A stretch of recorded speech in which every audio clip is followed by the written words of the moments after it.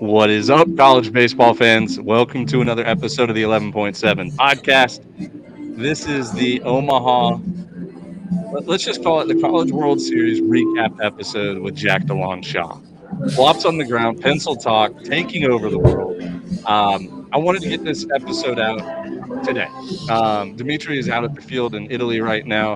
Uh, we will do a season recap episode. Like with everything uh, the timing just didn't work up or work out with, you know, my new job and with Jack's traveling. Like Jack's got 27 hours in an RV on the way home to Charleston. So we wanted to hit this pretty quick.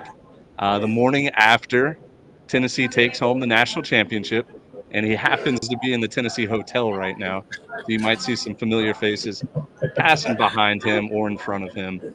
Uh, and they, they did a really, really they did a really cool thing, like kind of embracing you since day one, like really the fall, and uh, let you create as much content as you wanted, which is just cool for us. Now there's plenty of other teams that did the same thing, but you know, as those teams got eliminated, it was like, all right, we're going to attach ourselves to a team that um, you know gave you free reign, free access to their players, the staff, facilities, and everything. So this episode, Jack's going to talk about um, everything that happened in Omaha. Uh, and his favorite stories, favorite people he got to meet, and just you know, shout out to the people that deserve shout out. So um, it'll be more of a Q and A style than like that. Uh, than that. So Jack, I want you first before we dive into anything. I want you to shout out your sponsors that help pay for the trip and help uh, support you and your, your endeavors over there in Omaha. So I know there's a few of them. So I want you to yeah. the floor and give them a quick shout out here up front. Well, hey, how about the guys that are right above us if you're watching at home? Home Field Apparel. Like, not only are they taking over the world with their sweet vintage retro look, like I saw their stuff all over Omaha this week. So clearly they're doing something right. And and how lucky are we to have them in our corner that they believe in what we're doing to partner with a group that's clearly taking off the moon. So like especially Josh with Home Field Apparel, like I'm a small little entity inside this monster behemoth that is 11.7. Josh goes, no, I want to be involved. Like, let's do the damn thing. So, shout out to Home Field Apparel. Uh, use code CWS24. I talk. Josh is going to be stoked. Uh, hopefully, there's going to be a lot of people that follow through.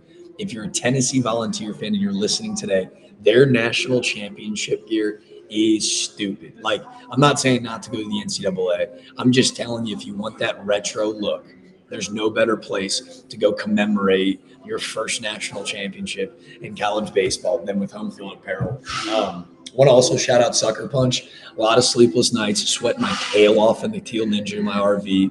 Um, Sucker Punch is the best hydration, most electrolytes in any drink on the planet. That's just a fact. Uh, if you're a pickle juice fan like myself, or just want to like try to take care of your body, body's the temple, as I like to say. Go show Sucker Punch some love. Uh, and then on top of that, um, my guys over at Chinook Seeds, I, there's a reason they put best seeds on the planet on those seeds. And uh, man, guys like Brandon or Mark, like they, they were so unbelievable to me this week. So I thank them um, for allowing this chip. Look at Ben, product placements. Always stay strapped. Always stay strapped. I have I've completely addicted to the cinnamon toast crunch ones, which I want to put. It's so good, in. dude. It, it is, is so good. It is unbelievable. Never in my wildest dreams would I have thought that sweet flavored sunflower seeds would be a thing. Oh my god, dude! I want like cotton candy flavored now. I want, I want apple pie flavored. Like, give me sweet sunflower seeds. It, they're so good.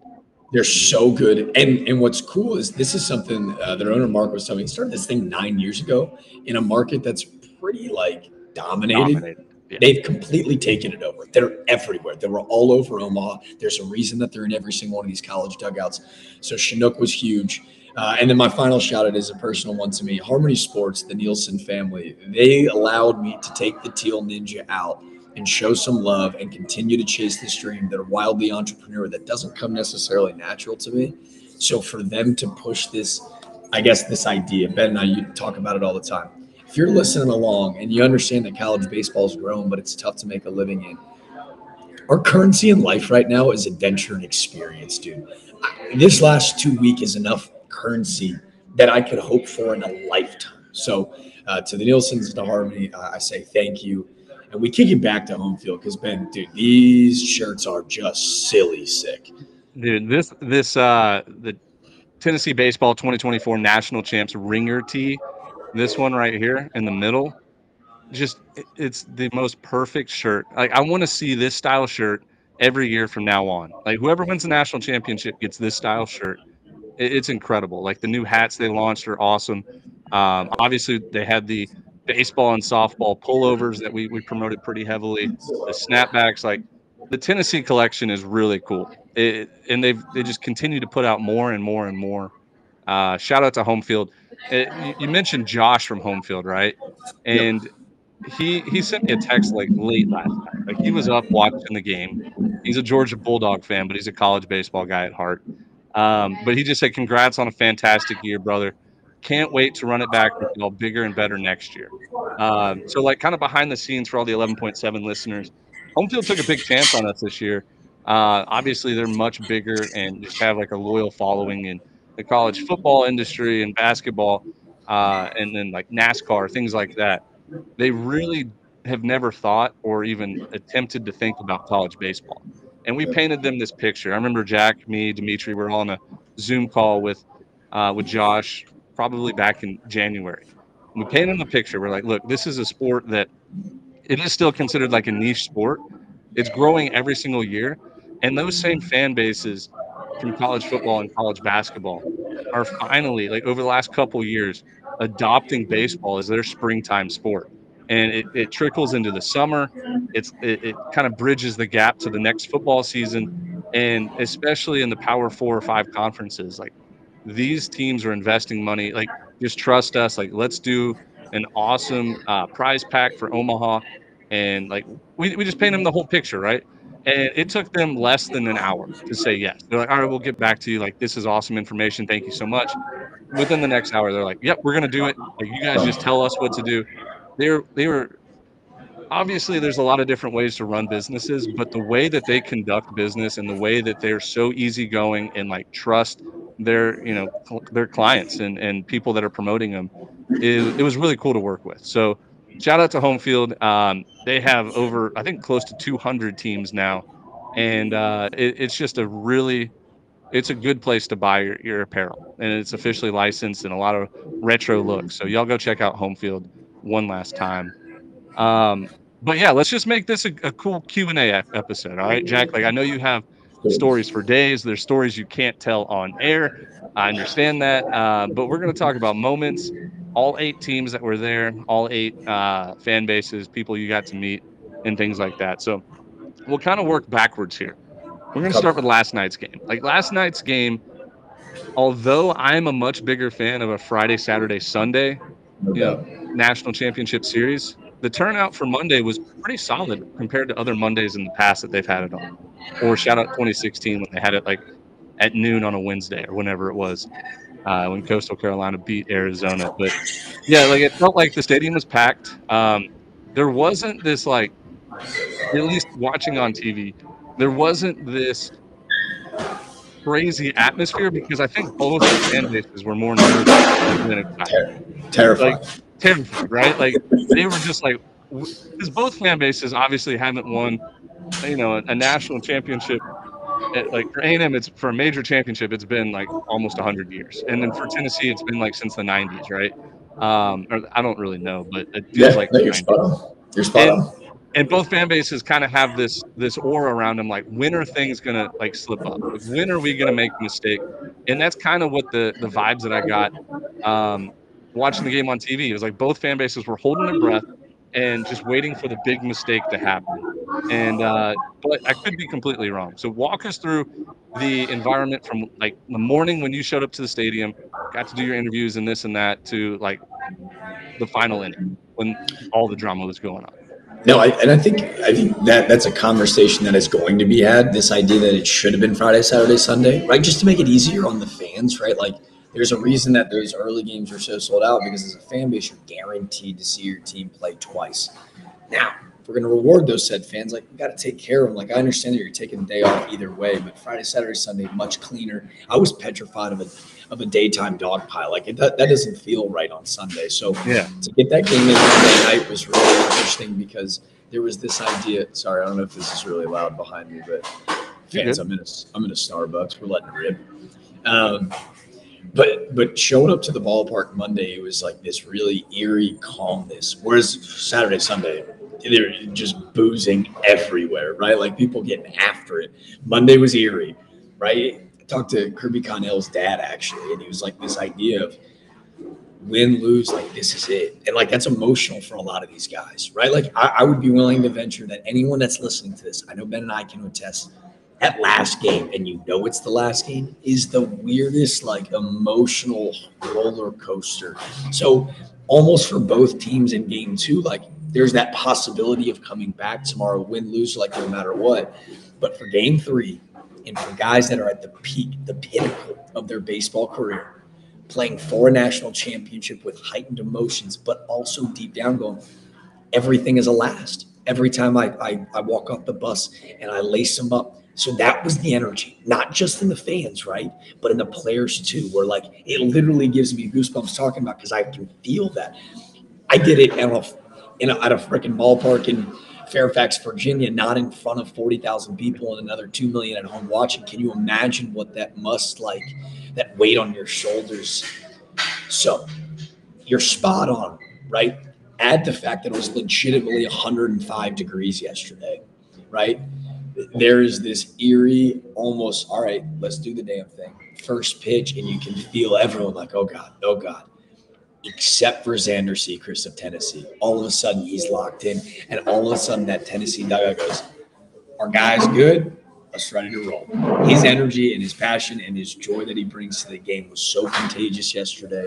Um, he, dude, I can just yeah. tell you right now, Xander Sechrist would have been one of my favorite teammates to have because he's the perfect mix, right? Like off the field, he is like goofy and funny and like he's just kind of like the, the locker room guy. But you can see him flip that switch, right? And like as a player, like a teammate of that guy, like when you see a goofy, you know, funny dude flip a switch, you're like, all right, if, if it means this much to him, like we need to be twice as focused. And uh, like you could just tell, like he was built for the big moment. And, dude, and he was great. Uh, so great. And, I, and I'll, I'll put a pin in that because on the other dugout, right? Hayden Schott of, of A&M all week just kept telling me, man, like, I, how cool is this? I get to play my, I get to play in the Charles Schwab Field with my best friends. I get to play with my best friends. There was a reason that those two teams were playing. Yes, they're uber talented. They loved each other more than anyone in this tournament. Like that, that is that was so evident to me. So I go back to the Kirby situation. Tennessee has had really, really talented teams in the last three, four years. Really talented. I want to know why this team was the one to do it because of their leadership council, right? Anybody who has been in those dugouts understands that, like, sometimes, like, the best player, like, carries themselves as the best player. Not this team. Like, truthfully, not this team. Like, talking to Evan Aschenbeck of Texas A&M, he's like, we didn't let our freshmen be freshmen. We're too old. We were over that crap. Like they weren't allowed to. So when you look at Tennessee, this mantra two years ago of being the evil empire, right? When you're leaders, right, in the clubhouse, they don't always have to be guys that play. Right? They, they don't, and preferably sometimes they don't have to. But when they all of a sudden ball out too, like Kirby Connell, who is yeah. the leader in appearances in Tennessee history. He was a lefty lefty guy for most of his career. Xander Sechrist was a midweek starter, right? And he joked about it. Midweek lives matter. That's what we talked about last November. He yep. knew that was his role. He knew it. Then all of a sudden, when those guys, your culture guys, whose energy is contagious, when like, hey, those guys can be loose, so can I. When those guys go crazy, you've got this unbelievable blend of like, uh oh, this team's going to be a freaking steamroller because they never let the moment get too big. And it's exactly what we saw yesterday. It's why Xander Sechrist, I made a joke about UT Medical Center about nine to 12 months is going to have 30 to 40 newborn babies named Xander, right? Because he's the he's the all-American kid that played like an all-American the last two months of the season. There was no statistically nobody better on the mound than Xander Sechrist. And what an unbelievable story and tip of the cap for him to call out a career. Kirby Connell getting that big leverage moment in the eighth. Like it just was so storybook for this team of destiny. Yeah. And I, I want to piggyback off of everything you just said because, like, one of the biggest storylines in college baseball is Tennessee finally broke that 25 year curse of the number one overall national seed winning the whole thing. And and how I'm piggybacking it is, dude, like not always the most talented teams win this tournament. In fact, it's very rare, right? Yep. Um, I think there's an exception. Like last year, LSU one of the most Right. talented teams. They just weren't the number one overall seed because they, you know, had a, a rough patch. But going back to my point, like it takes not only the most talented teams that can do it in the regular season, but like let's go do it in front of forty thousand people at Charles Schwab. Like, like the big moments will be there. And and dude, without the guys like Xander Sechrist uh, and, and the mayor and, and like some of the role players that were never looked at like throughout the regular season. They were never looked at like, oh, this guy's going to pitch at the next level or this guy's for sure a first rounder. Like these are guys that might be senior signs. Like they might go have a major league career, but it'll probably be out of the bullpen or like a number four or five starter. Like they're not the Chase Burns or the Paul Skenes of the world. So it, it takes those role players and, and the leaders that you talk about to put it all together, glue the whole team together, and win the big game. So uh, Tennessee breaks the curse of the number one overall seed, and I think it's just the perfect mix, mix of the the super talented guys, the Blake Burkes, Christian Moores, the Billy Amicks, uh, and then you and then mix that with the Cal Starks and the uh, I- it, it, was just the perfect overall mix. And, and on top of all of that, to have, in my opinion, if not the number one coach in the country, like easily top three, four, or five, like easily top three or four or five, has a very strong argument to be the number one coach in the country. Um, I mean, it it just kind of felt like really since the tournament started, like this is going to be the team that wins it. I, it- here's the deal. There have been a lot of people tell me that I've been glazed in this program, and I probably have. Right? He's the top two coach in the country, and he sure as hell ain't two. This guy, listening to his players and his assistants and support staff and administration and fans talk about this guy, you can't make that stuff up. Like, yeah, sure, like you can put on the coach speak and like, oh yeah, he coaches great. No, watch how he interacts with everybody around him. It's so genuine. I know I said that word a hundred times on this podcast, but it's reason. You want to know why blaze? Like Ben was like, we are loyal people. We ride or die with our people. He took a shot on me when no one else was, just like you guys have at eleven point seven. We go in November, right? They're the number one team in the country. They're the first team to ever done it. They were not that team in the preseason. Nobody like Yeah. There's a, there's a tweet circulated right now like, oh, are we expecting a huge Tennessee drop off? And like, look at all the players they kept receipts and they're retweeting and sending back out today, right? Not an accident. They heard the noise. They understood. Oh, you think our star power's gone? Buckle up. Look what we got in our back pocket, right? So there's this idea that yeah, they may have been the number one seed in the tournament, but they sure as hell weren't that all year until late in the season where it became inevitable. So Yeah. They played with that chip on their shoulder. And honestly, like the same exact story could be said about Texas A&M too. no doubt. Like talk No. about a team that that didn't even make the. I don't even think they made the tournament last year. Maybe they did as like a three seed, but uh, like a team nobody was talking about. Like they were picked to finish like bottom half of the SEC. Nobody believed in them. And then the moment Braden Montgomery got hurt in the Super Regionals, there were people, maybe even myself, that picked Oregon to to win the next game. You know what I mean? Like you lose a you lose a guy like Braden Montgomery, but you actually get statistically better as a team offensively. Like that's the kind of cool that's the cool thing about college baseball versus a college No basketball or college football. Like we saw what happened to Florida State when when Devin Travis breaks his leg or whatever happened. Uh, like they were not the same team, and you know they, they get blown out and this and that. They don't put up points. In college baseball, you lose your best player. There's always somebody there, or like the whole team can step up and, and replace that guy. So A&M is in the same boat as, as Tennessee when it comes to teams that did not get the preseason hype. They did not have the love that maybe they deserved, and uh, they just put it together and put together a very good season, like from start to finish. Man, they, they were what Max Weiner did with that pitching staff from last year to this year is not miraculous, but it's revolutionary, right? Mhm. Not that we're in this day and age where like the tough guy, old school style of coaching is different, but watching him go out and love on his guys, smiling ear to ear, he's sprinting from the dugout back and forth. He, he gave me one of the coolest sound bites right before the national championship on media day where um, he said, I, I think I've told this story before, so stop me if I have, but this idea of I was talking to Evan Aschenbeck and uh, I said, Hey, congratulations, man. Would love the interview. He's like, Oh, we were warned about you. I go, Yeah, what they say? And he's like, You're gonna ask crazy ass questions. Glad that the, glad the word's spreading. So Max Weiner, then the very next day he goes, Oh, I'd love the interview with Aschenbeck. I was like, Thank you, appreciate it. I asked him, so are you kind of like tired of the noise? Like, would you rather just go and play? He's like, no, I'm not tired of it. It just becomes monotonous. You feel like you're giving the same answers. That's like why we kind of like love talking to you because you don't really know. Keep us on our toes a little bit. I go, so let, let me ask a cliche question, like why, why have your freshmen not been freshmen? What I asked Aschenbeck, and then also like, what, what do you do in these moments to prepare? He's like, oh, dude, like that's the question everyone asks, right? He's like, you can't. You just have to go experience it. Why would we try to like create a playbook for it when it'll be a lot more fun to just go see what happens? And I was like, how does that not make all the sense in the world to, to 18 to 23 year olds that like all like right i got the yips bad i put so much pressure on myself when your guys in front of you right these leaders of men that are growing and shaping these dudes create a blueprint and go come on man not the big like all of a sudden they're playing the this is easy right? It's so simplistic to see. That fires you up right? Because there are people in the game that are changing it for the better that are young that get it that are feel oh man it it fired me up to talk to him and, and you understand like no wonder they're here. Guys that are playing for these dudes love them it was so easy to see. Yeah it's like well known in the college baseball world that the the I think I mentioned it on the last podcast, but these two assistant coaching staffs, uh, and like we can go into the other eight Omaha or other six Omaha teams, yeah. but like A and M and Tennessee specifically, like between Michael Earley, um, hitting coach for Texas A and M, who shout out to him, he was our very first podcast guest back in 2019 when he was coaching the Bash brothers at Arizona State.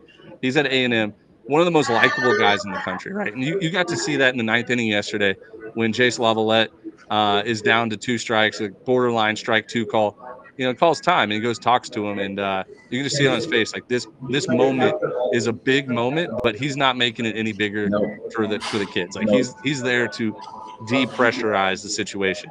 Uh, Nolan Cain, another guy, uh, associate head coach at A and M, he he called me before the season started and, and just was bragging about how this team had the chemistry he's never seen before. And this is a guy that won the 2009 national championship with LSU as a player. Um, so he's like not too far removed as a player, so he still understands it. Max Weiner might have been the hire of the century in Max. college baseball. Like this guy is revolutionizing the sport in a day of age where everybody is so focused on velocity and fastball, fastball, wipeout sliders. Like he is a guy that you, you watched A&M's pitching staff very few guys throwing 94 miles an hour and higher. Like they're getting outs with guys that are just able to mix and match pitches, uh, and he's able to maximize uh, each and every guy out there. And, and they throw strikes, right? So he's going to be a big name, a hot market ticket over the next five years to be become a head coach.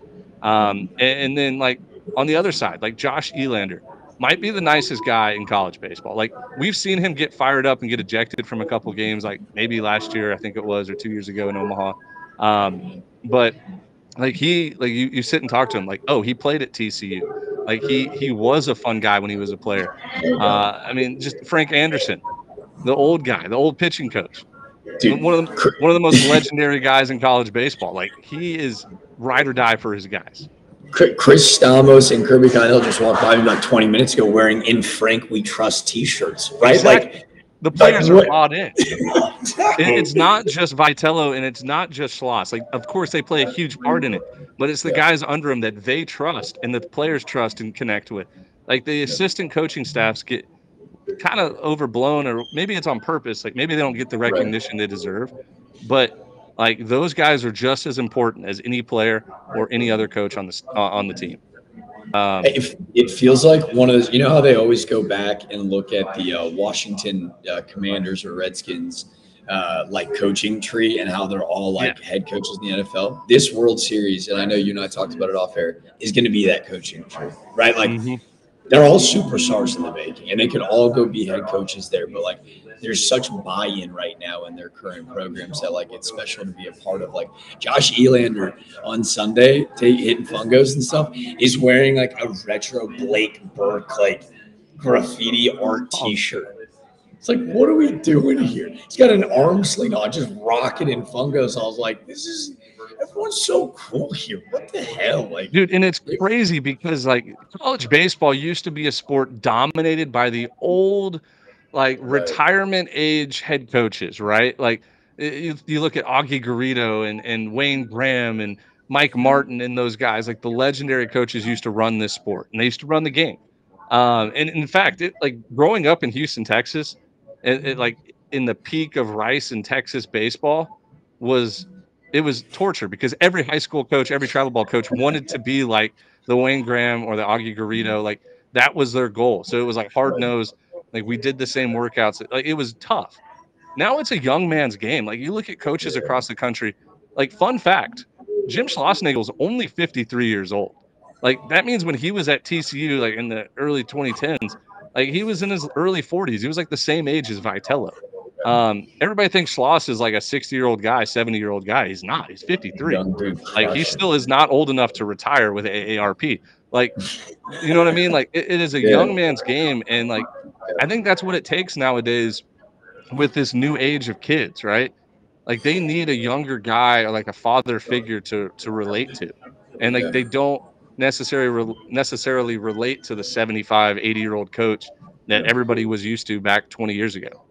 Um, we keep yeah we keep saying the word relate. I think that's why the game is blowing up, right? Because I've always said, and we talked about before this year, like this idea that I could take a big league baseball fan and I could get him to love college baseball instantaneously, right? I I I would almost guarantee guarantee for our 11.7 fans that I could take someone who hates sports and get them to fall in love with some of these storylines, right? That's why we were so thankful for home field apparel, right? There's a campfire of brewing. Let's pour some gasoline on the damn thing and go nuts. That's what's happening right now, right? These young coaches that get it, these superstars with the draft getting cut down that are playing college baseball they didn't before, all of a sudden, right? Instead of being a high school draft guy, it's cooler to come represent a program and wear a brand and be proud of where you went to play school. For. Like that's the overall like whelming like answer from not only these two but all eight teams, right? North Carolina, I feel like Chapel Hill, like fan base, like has been like a little iffy. Waves this weekend, right? Like yep. the list goes on and on. So that was really what was coolest this week was to see. Oh, like here it comes. Like you're just slowly dumping on the gas. Nah, man, I'm asking you to turn it upside down. Let's go. Let's get weird here. Yeah, I mean, like you look at teams like Florida State. I felt like they did that two years oh. ago when they hired Link Jarrett. Like, hey, yep. we the our campfire is almost out. Like instead yeah. of like instead of going to gather some wood and leaves and like try to get a lighter to start this, let's just get the, a tank of gasoline. Let's light it on fire.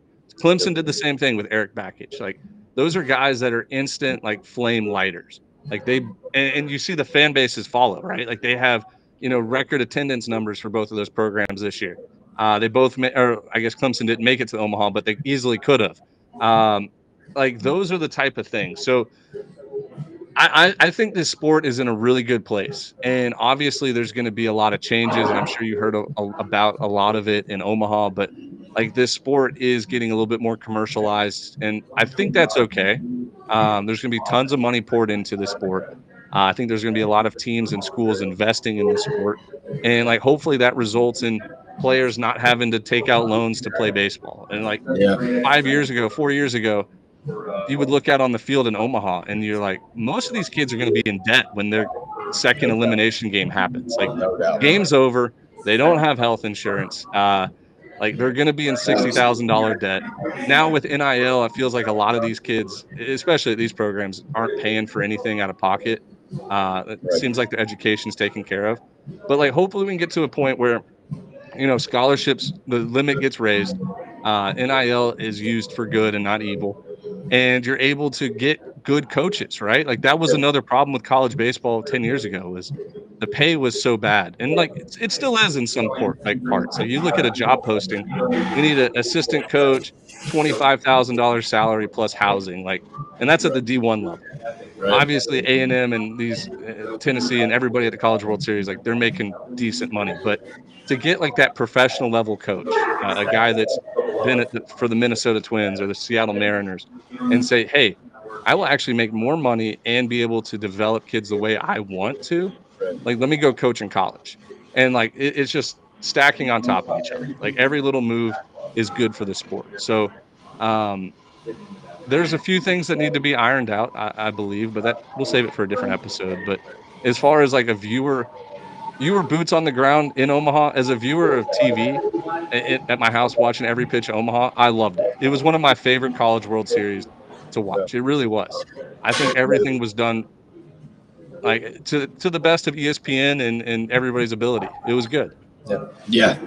I think that's the the coolest part. So you think back to like that those opening two days where it's just like we're high on life. Like you get three walk offs in a row, walk and then game walk four is a home run, off home run robbery by LaViolette. Like the other really cool part of it, like the the awesome integral pieces in this bad boy, whether it be Cags, whether it be Mike Monaco, like these superstar human beings are awesome human beings. And I'm not saying like in the past that wasn't the case, but I feel like as someone who shared a dugout with like unbelievable players, sometimes like there's this like era of like I'm the man, cockiness and swagger. There's been none of that out here. And I would tell you straight up, like all these interviews with these kids, they're so humble.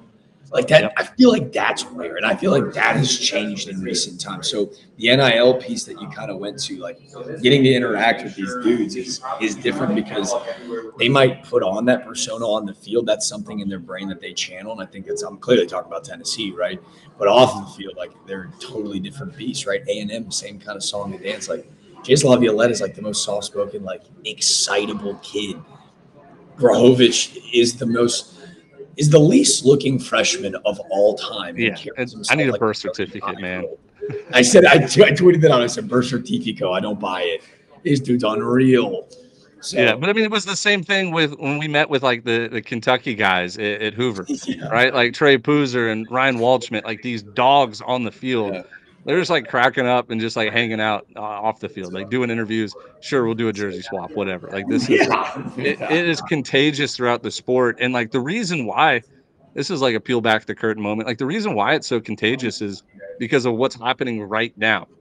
Kids go off and play summer ball, and like they're on teams with, you know, a, a roster of 25 guys in summer ball might have 15 to 20 teams represented, and like you know they become friends and then they get acquaintances and friends of friends.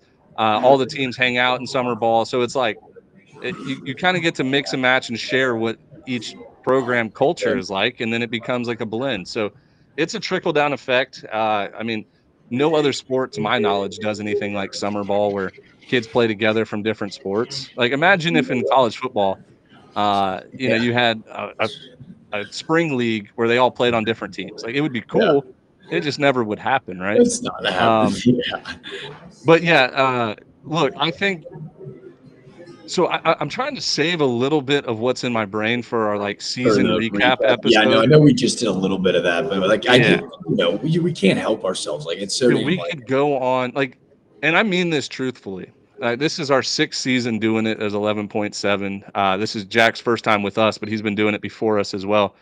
This was my favorite season since 2019 to like follow and uh, like just watch games, interact with players, coaches, things like that. People around college baseball, like writers and uh, people on TV, radio hosts, like it was my favorite season from start to finish. And like I, I truthfully believe it. I think this is a, and I think next year might be better.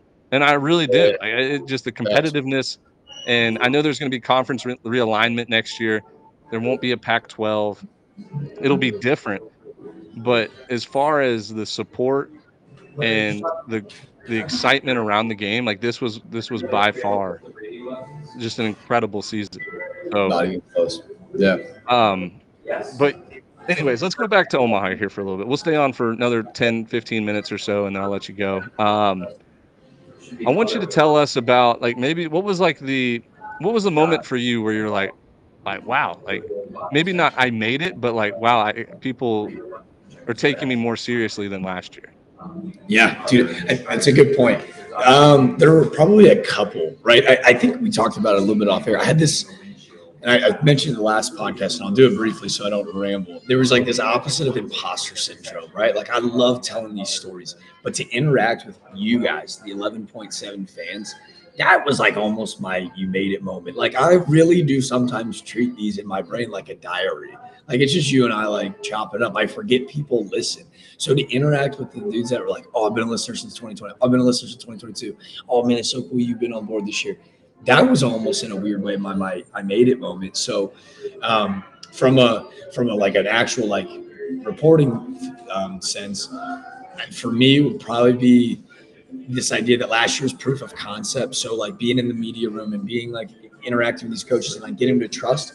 Been a full year of cultivating those relationships. It took a lot of time. Took a lot of work. Yeah. Um, so to show up and and my only connection with A and M is Braden Montgomery from his time at Stanford last year.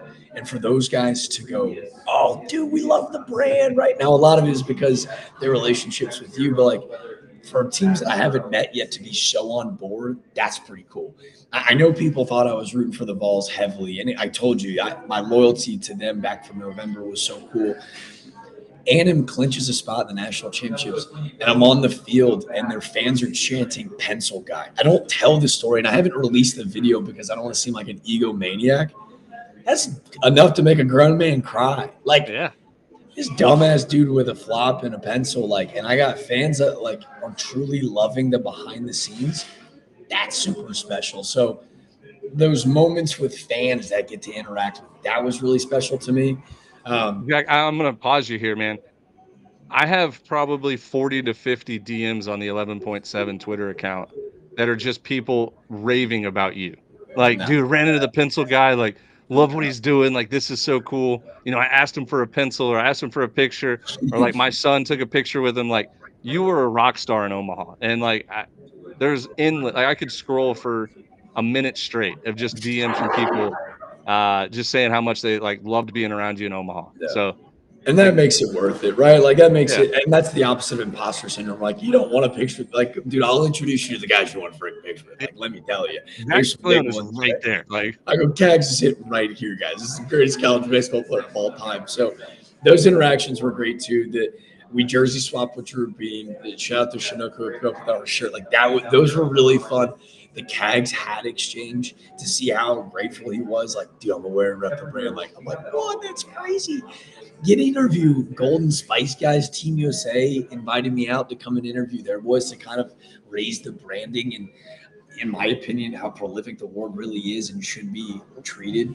we need so to talk about that. I forgot to bring that up. I know. Team. USA reached so out to you stories. to like interview the Golden Spikes candidates, and uh, like Charlie Condon's taking a picture with you, and Travis Bazana is talking about uh, like pencil talk. It was so cool to see that, and Yeah. uh, so kind of share your experiences there with Team USA and the, and the Golden Spikes. Yeah, my Allison loved it. Gupton is is awesome. She invited me out, but James Motter and I met each other last year in this event. James was a content guy at South Carolina. He's a big Gamecock dude, and now he's working on Team USA. He's so insanely talented that I just wanted to be around him and like absorb knowledge. So they invited me out. I get to come down, right? And it's, it's Hagen Smith and Condon and Bazana. And my the only scripted question I had for all three of them was, "Hey, if you guys are going to be like all potential top three picks, add Cags to that mix as well. Do you guys do like an arm wrestle or like rock paper scissors in order to decide who's going to be number one, or are you like undercutting it from like a money standpoint, like you buying each other McDonald's to try to like raise and lower this? They all started laughing. Um, that that was fun because you know Bazana, shout out Los Beeves, all in on the Beaver train now. And What an awesome dude! Like seeing his family there, right? Like you got to think too. There's a little bit of a bittersweet edge for these three highly competitive dudes that they're not playing in this event. Yeah. To me, it was more so standing back, taking in the perspective of looking how freaking proud their family are to be in Omaha for Bazana from Sydney, Australia to come this far, took a shot to come play in the States. This was his like crowning moment before he goes and plays professional baseball. That was really cool. Charlie Condon's dad was like, I I don't know, man. Like, hey, they, they're the they looked identical, right? But his whole family's there. Hagen Smith's dad has been a listener of the pod since 21 every Monday, driving two hours back and forth from Fayetteville from their hometown. That was wild, right? That was crazy when you told me that. Uh, right. I me- texted. Oh, yeah. Sorry. No, no, no. I was just saying, like, it's just crazy to think that, like, yeah, we put on the show for the players and the coaches, but it's really the families, right? Like, the people that want to know about not only their favorite team or their, like, it could be their son, like, or it could be their cousin or their nephew, and like, they're the ones listening about it. So, like, that is really cool. Uh, Hagen Smith made me crack up when, uh, when you asked him like what was like the biggest moment of the season for you, and he kind of just peeked to his right and he was like, uh, against against Oregon State at uh, Globe Life. and he was so cool about it. I, I wanted to go in and like, you know, Heis, what was the Heisman moment of the year? And there's yep. always that one clip. What was your golden spikes moment? Bazana was like, just like winning in Corvallis was super cool. And Condon, like same thing, like changing the face of Georgia baseball. So like the records or whatever, but like that atmosphere for the Super was nuts. And then obviously Hagen Smith, he's like, you know, pitching for a Hog Faithful for the first time as a starter was really cool. But there was one time and he looked over and they started laughing. I was like, that was our first club Bromaha. I remember it yep. well. 17 of 18 was pretty spectacular, brother. 17 strikeouts in six innings, so 18 outs, and he struck out Bazana three times. Crazy. Maybe it was dude. four. It might have been four times. I think he might have went over four. I know. I think it was a hat trick because I think he only got him three times because I think they pulled him after like six, right? Like, yeah. yeah. Yeah. So, but uh, yeah, dude, it was. It, that was a really cool thing where like Team USA is reaching out to you asking. So yeah, that was great. Yeah. Um, any any closing thoughts for you? Anything that you just need to get off your chest? Anything that maybe was super cool? Let me ask you this: Did you get to hold the uh, the trophy? I did get to hold the trophy. I did. How much does it trophy. weigh roughly? Dense. Roughly. It's a lot denser than you might think. So last night, I'm obviously, and I, the the story of Kirby Connell and Xander Sechrist goes back to December. So it's like I'm just like got my arms around their shoulders, just like as they're my boys, and we're walking up, and I go, "Oh, you guys got to duck in for the picture." So they walk in, I hang out. They're like, "No, no, you go too." Well, I taken my credential off to like take a picture with the boys, and uh, so I duck in there, and the trophy's in there. So I'm not sure if I'm allowed to or if I can, but I did give my best. Uh, you know, it was what Jordan in the shower, head down, repping the brand. the photographer looks at me, he goes do you want the pencil in the picture or did you forget to take it out of your hand? I was like, oh, yeah, yeah, no. I'll leave it in. Like, just, I'll just leave it in if that's okay with you. So that'll be pretty funny. Um, I would say, I, I it, I totally forgot. I wanted to put a pin in Cinnamon Toast Crunch. Shout out to Chinook with the seeds. About 15 minutes before Ben and I jumped on this pod, for those that don't know, I'm living out of an RV right now whose hotspot broke. So I've been bouncing around looking for Wi Fi. There's a Dunkin' in this Starbucks that's attached to the Marriott where the Tennessee national champion volunteers are staying. Players have walked in and out. I'm like deucing on bed. Hey, safe flights. Have a blast at the parade tonight. And I look up from the computer for about two seconds, and the goat looks up at me, comes running over. And Tony Vitello's got a blonde wig on, a national championship hat. He's wearing just a sweet Tennessee pullover, probably home field and uh, he's got the national championship trophy, dense, heavy, by the way, and a box of cinnamon toast crunch in his left. so he puts the. And, and you the said he was he was holding the cinnamon toast tighter than cinnamon toast crunch tighter than the trophy. He puts the trophy on the ground to dap me up, give him a hug, and is still holding the cinnamon toast crunch like it's his crown jewel. And he's sitting there. He's like, "You mind picking up the big beast for me?" And I was like, "Only in my dreams." So I pick it up and hand it back to him. Fans are starting to bond. He's like, "I gotta get out of here." And I'm like, "Yeah, much love. Like, be good."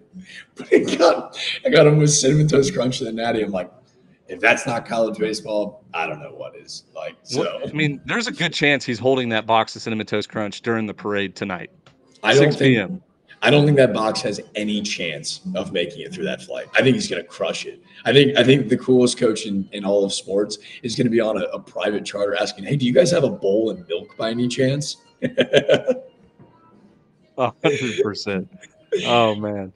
But uh anyways, keep reminding me. This is I could do this forever. I feel like I needed to do a better job of documenting it because well, and it's funny know, because like you and I have talked uh, like through text message or, or FaceTime or phone call throughout this. So I, I, I can't remember exactly what we said on last podcast or what what has happened up until now. All I know is the uh, the Teal Ninja was quite the hit.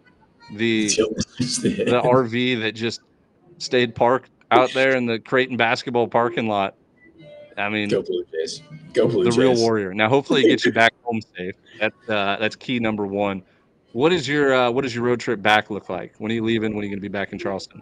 I, I, think people need to educate me here. I don't know. It's like that. Like I'm so hungover from the emotion of an insanely week, and then also maybe actually a little banged up. Um, so uh, I, I'm thinking. Last year I did St. Louis and met up with an old coach. Cardinals and Braves either tonight or tomorrow night. Um, I might just hang out and kind of let it soak in. Do Omaha today and breathe a little bit uh, St. Louis tomorrow, Knoxville maybe the next day, and then uh, and then Chucktown and Bound. It's about a 26 hour drive. It's 19 from Charleston to Omaha, but it's about 26 in the Teal Ninja because she's she pushes she's pushing P a little bit. So she's purring purring a little bit. the uh, well, whatever we didn't get to today, uh, we are going to do one more episode later this week, like probably Thursday or Friday when you get back. It'll be a season recap episode. Hopefully by then we'll have uh, an answer on the Texas Longhorns job. That's a big. I mean, who's it going to be? Is it going to be Jim Schlossnagle? Is it going to be David Esquer? Is it going to be Waz from Oregon? Like, who knows? Um, I don't think it's going to be Jay Johnson. I, I, see that name floating around there. Um, I, I could see like a Chris Pollard from Duke. I could see a Dan Fitzgerald from Kansas. Like, there's a lot of good candidates, right? Um, but hopefully, we'll have an answer on that. And then there's a few other coaching jobs that are going on. Transfer portal will be closing here in about a week, roughly. So no more people will enter. Uh, yeah, we'll, and we'll just do a season recap. We'll talk about favorite moments, favorite players, teams, like this and that, and uh, kind of preview next year a little bit too, and, and possibly the draft. I want to do one more episode before the draft too. I got a draft just, board. Why don't we just run this thing through the draft, brother? Let's just keep running it through. That's a good idea because I, I, got a draft board. I got a draft board that I'm pretty confident in. I like I like the first round a lot. Yeah, and buddy. it includes it, it it includes Blake Burke going to the Astros, and and starting starting at first base before September. I'm telling you, I'm telling you, I I love you. I, it's so if Nolan Schanuel did it, Blake Burke is the most professional.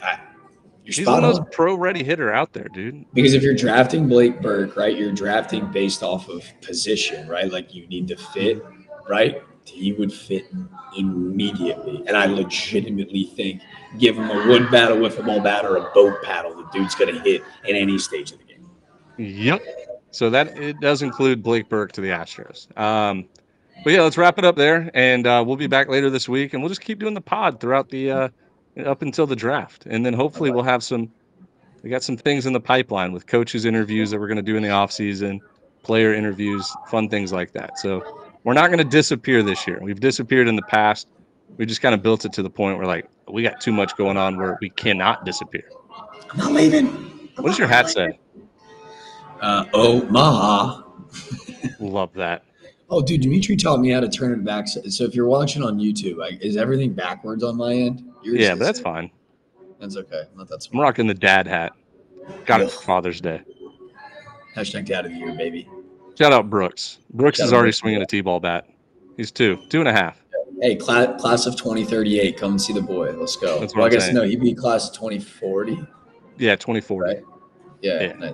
Class of 2040. class of 2040. Ready. He might be talking to Coach Vitello or Coach Schlossnagle or, or whoever else is up next. Yeah, buddy. Yeah, buddy. See everybody. We'll be back later this week. I promise.